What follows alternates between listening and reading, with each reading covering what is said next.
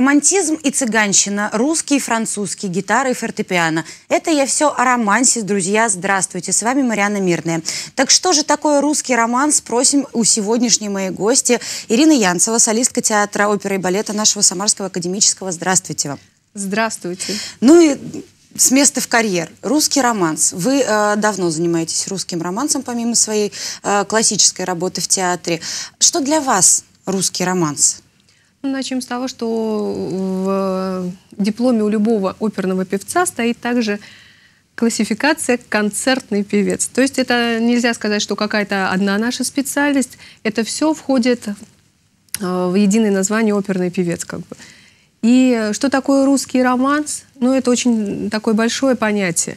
Я могу сейчас рассказать конкретно о том, чем буду не знаю, радовать, надеюсь, что радовать наших зрителей дорогих, которые придут ко мне на концерт 5 числа. Э, я буду исполнять романсы таких композиторов, как Гурилев, Алябьев, Варламов, Булахов, Чайковский, Рахманинов. То есть это достаточно большой временной промежуток. И я постаралась собрать истинные жемчужины э, русского романса. Это каждый из них можно назвать смело шедевром. И надеюсь, что всем понравится. Ну вот смотрите, русский романс это все-таки, ну мы как э, привыкли, мы, может быть, да, люди, кто слушают романсы, а, что в нем есть какая-то определенная изюминка, да, что это, а, ну, Существует множество да, Конечно. всяких жанров и про прочего музыкальных. Романс все-таки отдельной какой-то строкой идет, потому что это чаще более такое камерное, кулуарное, угу, что-то очень душевное, что-то какое-то откровение. Вот э, правильно нам кажется слушателям? Безусловно. Дело в том, что э, романс берет свои, свое начало, это же салонная музыка, это то, чем занимались люди, э, в общем, ну, можно так сказать, что заполняя свой досуг. Раньше все, почти все сочиняли романсы, обменивались ими и занимались тем, что а, радовали друг друга. Каждую неделю у всех собирались у кого-то дома и исполнял уже каждый свои, свои романсы. Поэтому что еще могу? Ну вот, а э, какое должно быть сопровождение у романса, если, ну потому что зачастую это гитара все-таки, да, это э, певица, чаще женщина, и это гитарист, да, ну, какое-то такое э, визуальное, во всяком случае, Опять же, это, кажется. как мне кажется, это больше подходит к цыганскому угу. романсу. Э, в частности, к классическому русскому романсу это, безусловно, рояль, поэтому, э, который дает и полноту э, красок разных тембров Поэтому не могу сказать, что это какие-то есть в цыганской музыке, это может быть еще и скрипка. Угу. Кстати, вот э, хочу сказать, что в нашем концерте, в частности, будет присутствовать и скрипка как определенная краска, которая э, создает такую атмосферу более интимную, более нежную, более доверительную.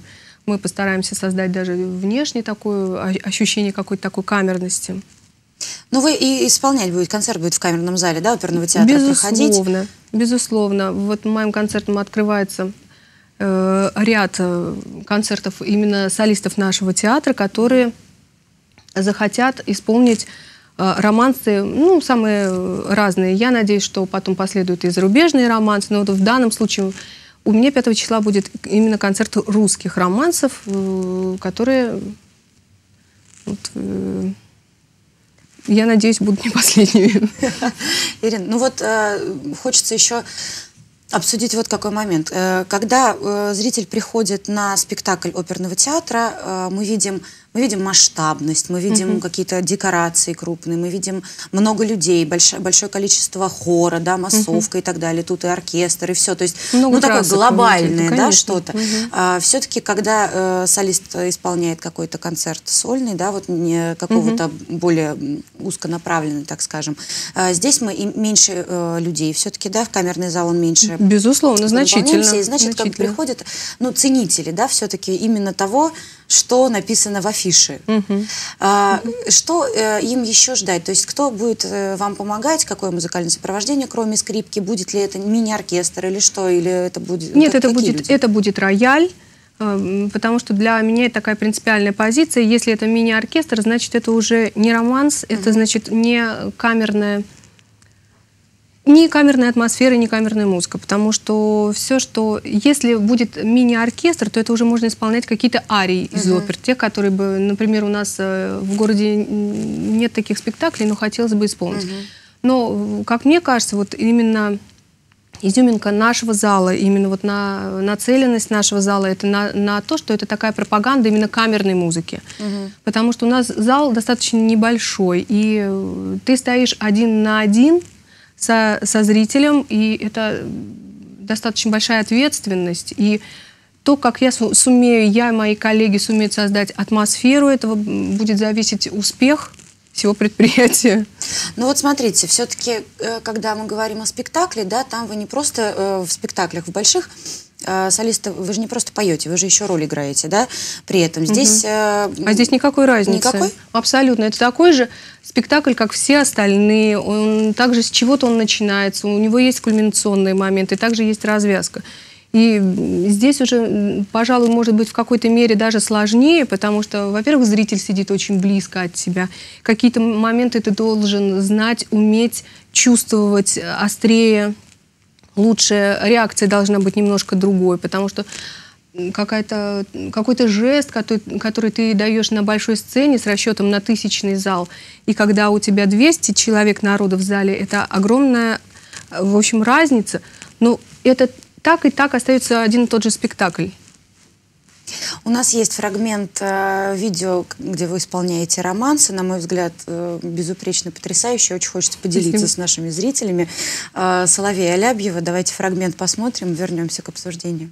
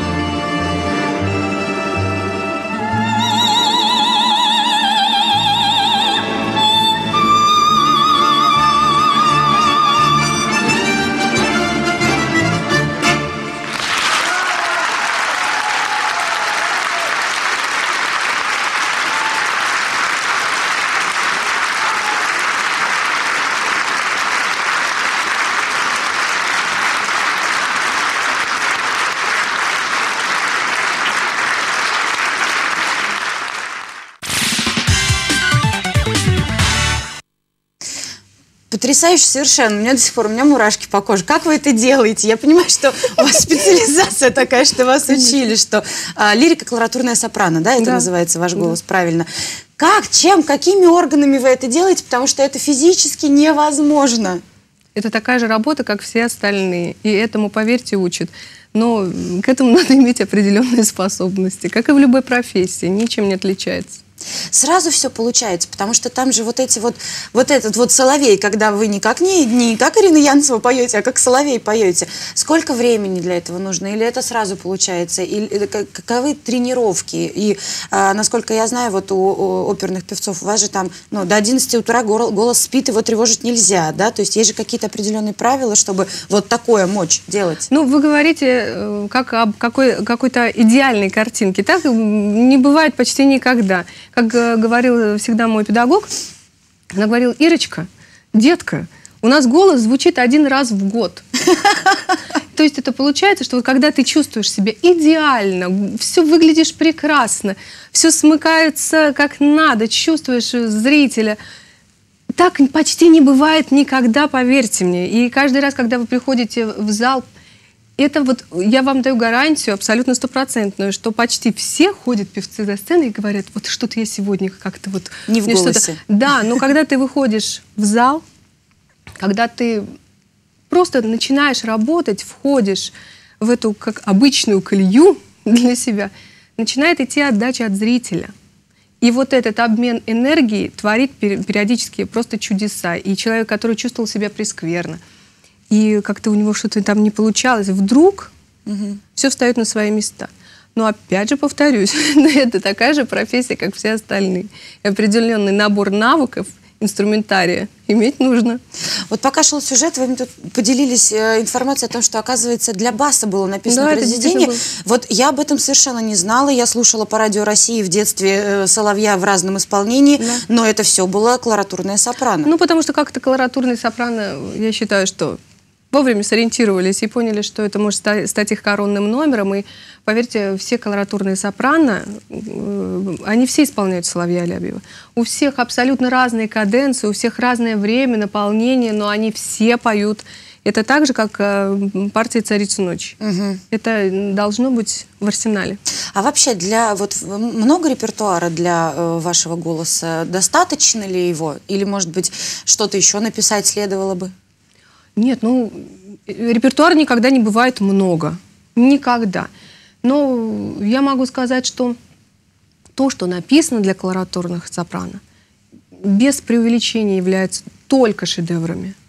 Потому что это и партия «Царицы ночи», это и «Лакме», это и «Лючия Даля Мермур», это великолепные, это шедевральные просто партии, которые требуют не просто мастерства э, чисто вокального, а требует дополнительной и психологической нагрузки, и актерского мастерства, потому что не будет действовать ни одна партия.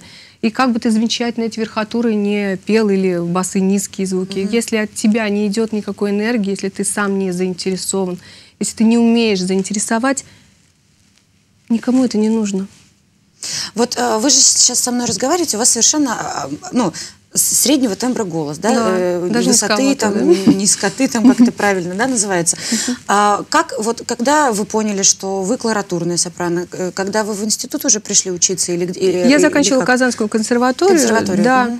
И Там я... вам об этом сказали? Или вы а уже туда пришли, не... знали? Нет, я об этом абсолютно не знала. Я заканчивала до этого Димитровградское училище как э, хоровик-дирижер. Ага. И, собственно, особо-то... Ну, мне просто очень нравилось петь. И когда в свое время я просто поступила в Казанскую консерваторию на вокальное отделение, я даже, честно говоря, не особо представляла масштаб того, что вообще произойдет в, в будущем. И я-то себя как-то вообще никакой голосовой классификации не относила. А там проверяли вот так, что на, по, по нотам нажимают выше, выше, выше, и сколько, сколько берешь от этого? Э, нет, есть э, понимание? Нет, а, а, ориентир только один, это тем, тембровый окрас угу. голоса. Потому что ты, диапазон никогда не являлся мерилом. Диапазон делал наживной, если певец умный. Да? да. То есть это, можно, это, э, это нарабатывается, Это да? нарабатывается, если ты лирико-колоратурный сопрано. То можно еще выше? Ну, как сказать, ну, можно А зачем достаточно... уши лопнут, да, у кого-нибудь? Нет, зачем не лопнут, если это... Это должно быть красиво. Но это было безумно красиво. Это я я до сих пор говорю спасибо. под впечатлением. Хорошо, а, к, к концертной деятельности хочется вернуться. Угу. Вот смотрите, все-таки есть, наверное, да, этот момент того, что хочется быть востребованным. Да? Каждому артисту хочется работать и пробовать себя там, так, или, или угу. да, в разных каких-то формах. Вы люди творческие и никогда не стоите на месте, к счастью. А, что-то, может быть, вот на ваш взгляд, э, насколько вот такая индивидуальная работа, насколько она важна для артиста для оперного артиста. И что это дает для э, общей работы? То есть, может быть, ну, в перспективе, я не знаю, может быть, собраться, да, погастролировать, да, с тем, с тем, с тем, да, с какими-то разными арти э, разные артисты, которые разный репертуар поют, свой, индивидуальный, который хочется. Или вы я так мог... делаете уже? Я могу сказать, что я занимаюсь тем, что я люблю, надеюсь, умею. И я не могу сказать, что э, что-то есть такое, чего бы я еще не попробовала. Потому mm-hmm. что я в свое время начинала с эстрадной музыки. Э, я попробовала ее, у меня достаточно неплохо получалось, но как-то так сложилось, что вот Господь Бог меня привел немножко э, в, в другую сторону, и получилось, что вот я абсолютно счастлива в своей профессии, потому что вот э, последний сезон, который я работаю, я очень востребована. Дай бог, чтобы так э, было и дальше. Мне хватает работы. Я работаю очень разный материал. Абсолютно. Начиная с детских сказок и заканчивая, в общем, оперными шедеврами. Угу. И я считаю, что это прекрасно. Я работаю все, что я хочу работать. Ну, это и, здорово, это счастье профессиональное, Это счастье, да? я считаю, что да. И тем более, что мне дают возможность реализовать себя как еще и камерная певица, потому что это совершенно отдельная как бы такая статья, она требует немножко дру, другой концентрации. Угу. Потому что в любом случае, когда ты работаешь в оперном спектакле, у тебя есть партнер, который дает тебе время на какое-то раздумье или просто хотя бы передохнуть физически. А здесь ты один, но в этом есть э, и особое удовольствие. Зато потом вы точно знаете все аплодисменты, это вам все цветы овации тоже вам. не переживаю никогда. После концертов а, бывают люди, которые с чем-то к вам приходят, я имею в виду, ну, с благодарностями, понятно, да, наверное, да, есть. безусловно. Не знаю, поклонники. гипотетические ученики какие-то, которые приходят, говорят, ой, я тоже дома там спел, спела, да, может, вы со мной позанимаетесь, какие-то такие есть случаи? Ну, пока таких случаев нет, я к этому отношусь очень осторожно. Потом я считаю, что это мне еще не хватает опыта в этом плане. Для, Чтобы для, учить? Да, э, потому что это надо быть таким мастером, и надо настолько разбираться в природе голосовой, быть психологом, потому что это ты не можешь научить человека просто извлекать звуки. Угу. Потому что если он себя плохо чувствует, у него что-то не так дома. То есть педагог это такой собирательный образ, к которому, честно говоря, я пока еще не готова. И я надеюсь, что я, когда буду заканчивать свою карьеру, то, конечно же, этим обязательно займусь. Но не в ближайшее время. Ну, хорошо, пойте. Вы да, пока да. Пока вот так, да, я пока думаю, да. что всех, всех это устроит. Ирина, всегда хотела, всегда хочу спросить у солистов оперного театра. Вы в караоке ходите? Нет. Нет, вы плохо относитесь к караоке? Это, или, или это просто Нет, не ваша история? это просто абсолютно не моя история. Я никогда ничего не порицаю и не отрицаю, потому что то, что это не нравится мне, или я в этом, скорее всего, просто не разбираюсь, это не значит, что это плохо. И потом, вы понимаете, мой голос — это моя работа. И как-то я даже себе не могу представить, чтобы я куда-то пришла и вообще... И поработала еще, еще да? поработала. Все отдыхают, а я еще поработаю. Так что это не мой вариант. Когда кто-то где-то на каких-то мероприятиях поет и в ноты не попадает, вот больно тут? Или вы абстрагироваться Я умеете? умею абстрагироваться. Меня не раздражают такие моменты абсолютно. Они меня не касаются. Про глобальное еще хочется э, обсудить. Спектаклей много сейчас, да. особенно после реконструкции, когда театр угу. открылся, да, большая сцена, много возможностей, там все трансформер, там все это да, делается и красиво. так далее. И приглашаем э, гостей, да, угу. чтобы у нас выступали. А, что э, в планах? То есть э, на, что еще не успели на нашей новой сцене сыграть, но знаете, допустим, что это точно будет и к чему-то внутренне уже готовитесь? Ну вот у нас сейчас э, до конца этого года, в этом сезоне, у нас планируется еще постановка, кстати, на камерной сцене. Угу. Это будет э, опера Моцарта «Волшебная флейта». Угу. Это, конечно же, ну вот для меня это огромный подарок судьбы. потому что я знаю, что Михаил Александрович Панжавидзе Да-да. будет ее ставить. Это значит, будет интересно, это будет точно необычно. И для меня это просто огромный подарок. Потому что это партия, о которой мечтает люб- э, любая вообще колоратурная сопрано. Люб- это прекрасно. Любая певица. А еще в театре у нас есть колоратурная сопрано или вы одна у нас? Нет, есть. Есть еще, да? Почему, конечно. Мне просто, э, э, у нас же получается, должно же быть несколько, да, правильно, Ну, человек безусловно. на э, одну партию, тем более в, в актерской среде есть такое понятие, как пара, да, в, в каких-то Ну, ролях, конечно, конечно. Чтобы могла быть какая-то и взаимозаменяемость. Конечно, всякое бывает. А, хорошо, вот э, хочется еще про гастрольную жизнь немножко поговорить, потому что э, так сложилось, что вот м, а- актеры нашего оперного театра, и, наверное, не только нашего, у вас есть какая-то возможность уникальная, не знаю, как у вас так, видимо, график э, грамотно формируется, что не обязательно всем театрам ехать на гастроли, что гастролировать может и кто-то один там или двое, да, кто-то здесь, кто-то на выезде вообще в других городах, странах, да, вообще в каких-то там мировых театрах работает. А, э, куда ездите вы, где, где вы еще, в каких городах и весях вас можно видеть? Честно говоря, в последние годы я никуда не езжу. А опять же, по той причине, что мне хватает работы здесь. То есть вы настолько загружены дома, что... Я достаточно загружена здесь э, для того, чтобы позволить себе куда-то не ездить. Потому что был временной достаточно большой период в моей жизни, когда я ездила. Потому что и хватало и, и сил, желания, и здесь не было того репертуара, который бы мне хотелось спеть. Так в свое время я в, в Казани спела и «Царицу ночи», и «Донну Анну» в «Дон Жуане». То есть э, также я сотрудничала с театром Астрахани, там я пела «Царскую невесту» Марфу. Поэтому было для этого время как-то... А сейчас театр находится на таком творческом подъеме. В каждый сезон у нас 2-3 новых названия.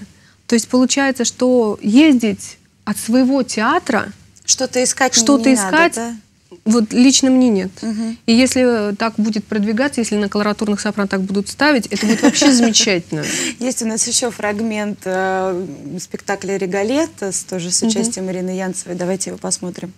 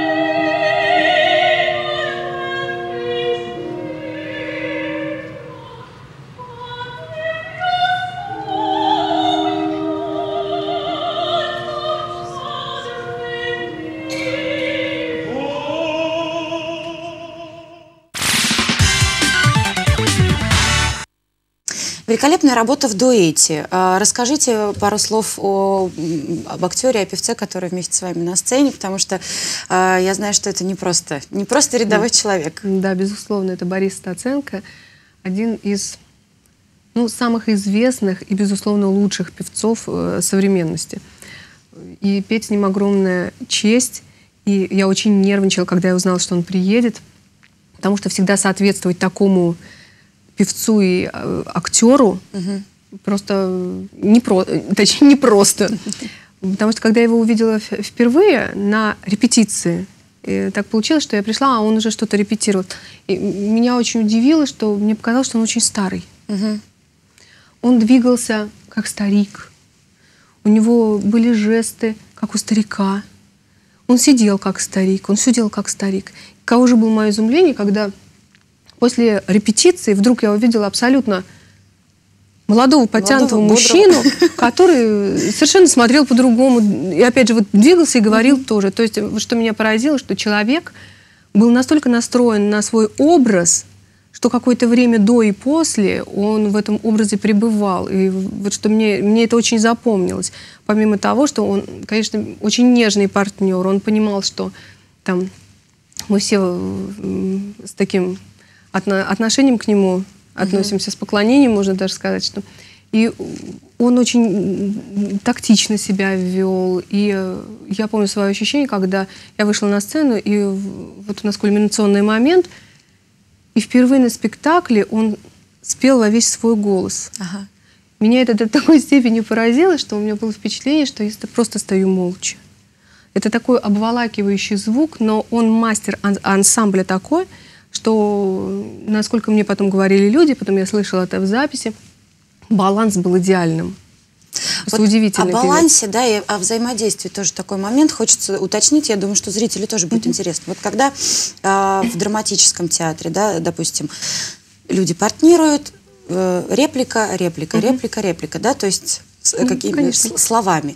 Вам же нужно, помимо того, чтобы вы слова правильно все сказали, вам еще же нужно совместно в ноты попасть. Насколько вот эта спевка происходит, когда ты с человеком, вот он приехал, да, там на несколько дней, Вы и вам срочно, ансамбль? экстренно Мгм. нужно вот э, таким образом объединиться и соединиться, чтобы у зрителя не было, и у слушателя, у зрителя диссонанса, чтобы все было правильно, звучание. С певцами такого уровня, каким является Борис Стаценко, таких проблем вообще не возникает.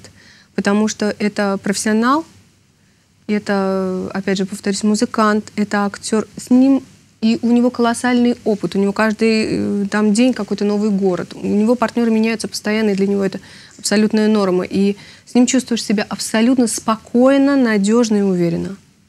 Это вот э, прекрасно, да? Я думаю, а Да. есть ли какие-то наметки, может быть, еще он к нам приедет, потому что... Потому, потому Будем что- надеяться, будем надеяться. А, вы сказали, что в этом году вот э, будет э, волшебная флейта Да. Моцарта. Что еще на этот год? Насколько я знаю, что будет э, у нас еще одна премьера на большой сцене, это «Леди Макбет» Мгм. Мценского уезда. Ну, там, к сожалению, я очень люблю эту музыку, но там, к сожалению, для меня работы нет. Слушайте, а обидно, когда вот так вот нравится произведение, а вот для меня там... Нет. Нет? Почему? Это, ну, то, это Я очень люблю приходить в театр просто как зритель. Ага. Э, Потом, это же как-то очень странно. Ты, то есть ты должен любить только оперы, в которых ты принимаешь участие, так не бывает. По- Поэтому есть э, ряд опер, точнее, огромный список опер, в которых я не принимаю участие, но я их очень люблю. Я очень люблю эту оперу и с надеждой тоже буду ждать ее выхода. А, Скоро, к сожалению, время, вот мне режиссер подсказывает, заканчивается, но хочется вот что еще спросить. Сейчас мы см- смотрели фрагмент, и а, вы там э, производите какие-то физи- физические действия, вы и наклоняетесь, и что-то куда-то бежите, несете, и при этом сохраняется а, вся голосовая фактура, да, ваша. Это, это тоже просто так надо работать, это вы, вы так умеете? Безусловно. Организм это как у спа- а, организм певца это как организм у спортсмена. Спортсмен же точно знает, какими мышцами он действует. Здесь то же самое, абсолютно никакой разницы. Спасибо вам огромное. А, Тоже остается, да, буквально минуточка. Еще раз приглашаем зрителей, любителей, ценителей а, и оперного, и камерного, и э, искусства романса, да, 5 числа. Давайте еще раз, где, когда вы ждете своих зрителей? В камерном зале оперного театра оперы и балета 5 октября. Всех буду ждать с огромным желанием и любовью. Всех приглашаю. Но я думаю, что если мы придем, э, телекомпания «Самара Буду ГИС» э, придет, вы будете рады. Буду очень рада. Спасибо огромное за приглашение. Напросились. Со зрителями прощаюсь э, до следующей пятницы. Проведите выходные с пользой и с удовольствием. До встречи.